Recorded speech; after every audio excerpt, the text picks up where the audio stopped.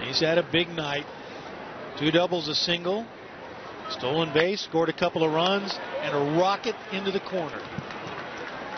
How about another double? He jogs into second base.